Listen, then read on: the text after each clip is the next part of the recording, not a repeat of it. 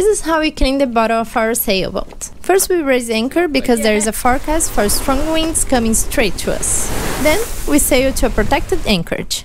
We throw a secondary anchor just to make sure we have good visibility, and if there is, we get our equipment ready to start work.